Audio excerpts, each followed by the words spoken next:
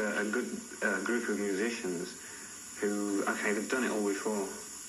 Uh, you know, Jimmy and Paul have, but it doesn't come across like that. They're doing it because they, they want to do it, and uh, to be part of such a good team is tremendous. Uh, It's a great opportunity actually to work with uh, with both uh, Paul and Jimmy, because Paul's actually been probably my favourite singer, I think, for years, ever since Free, and all that time. It's, it's a great uh, opportunity to work with great musicians.